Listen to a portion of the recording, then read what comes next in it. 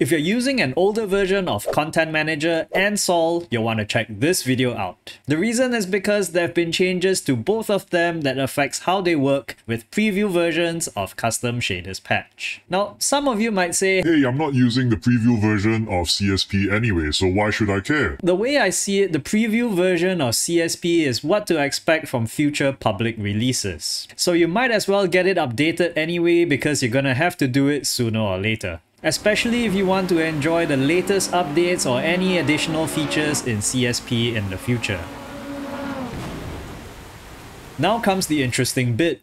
Depending on which of the two official downloaded sites that you got Content Manager from, you could end up with the latest version, or you could end up with a slightly older version that has some compatibility issues with Sol. At the time of making this video, if you download it from acstuff.ru, you'll get the older 0.8.2245 version, but if you download it from GitHub, you'll get version 0.8.2561, which is the latest version. Not sure what version you're on? Well, just open up Content Manager and head over to Settings, Content Manager, and General.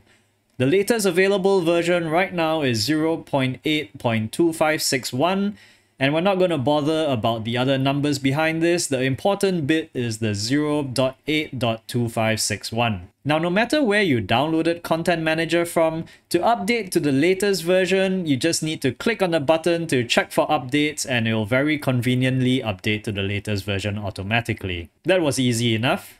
So now that we're on the latest version of Content Manager, the next thing we need to sort out is Sol. To check what version you're on, head over to Settings, Custom Shaders Patch, and Weather FX. Click on Weather Style and you can see here that I'm on version 2.2.9 which is the latest version available at the moment. So head on over to the race department link below in the description to download this latest version of Sol. And just a quick public service announcement, you can actually sign up for a free account on Race Department, although they make it seem like you have to sign up for a paid account. Just keep your eye out for the sneaky link hidden somewhere on the sign up page. Before we install this, if you have any existing version of Sol, you have to make sure that you get that uninstalled first. To do this, go to the downloaded Sol archive and head to the Sol folder where you'll see a sol uninstall.bat file. Copy this file to your Assetto Corsa root folder. Double click on it and press Y on your keyboard. This will automatically clean up any existing Sol files. And now to install Sol. So the first rule of installing Sol is to make sure that you install it manually. And the second rule of installing Sol is to make sure that you follow the first rule of installing Sol manually. Manually, manually, manually. The correct way is to copy the apps, content, extension, and system folder from the Sol archive to your AC root folder. Confirm to overwrite any existing files and we're done. Now to check that everything has been done properly, head on over to Settings, Custom Shaders Patch, and Weather FX. And you should see a drop down which says Weather Style instead of the old controller script and Weather script drop down menus. Check that yours says Sol 2.2.9 and we can head on to the last step which is to make sure that all the Sol apps are activated.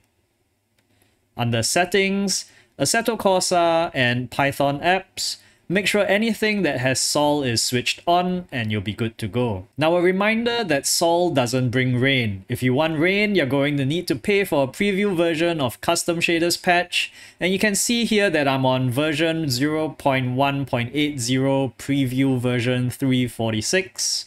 If you're on this as well, well, you'll notice that when you head on to the drive menu and then to the weather drop down, You'll see Sol 2.5 with its own drop-downs for start weather, wetness, and puddles. So go ahead and feel free to mess around with those. It just makes things a little bit easier when you start a wet game. Before you do that, if you like this video, do hit that like button and hit that subscribe button to see more Assetto Corsa videos. And just in case some of you encounter any issues, like for example, I've seen some people get a black sky glitch where the sky just turns black no matter the time of day, to resolve this, head on over to Settings, Assetto Corsa, and Video. Under Post Processing, set your filter to Sol, Now head over to the drive menu and choose an original Kunos car on an original Kunos track.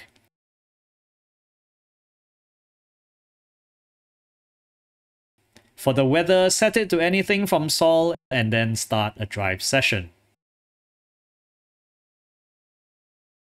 When you're in-game, bring your mouse over to the right-hand side of the screen to open up this menu. Go to Sol config and click on Reset to Defaults. This may or may not work for you and if that doesn't work, I would suggest to uninstall Sol following the steps shown earlier and uninstall CSP as well. Once both of them have been uninstalled, go ahead and reinstall them again following the steps and it should be working fine now.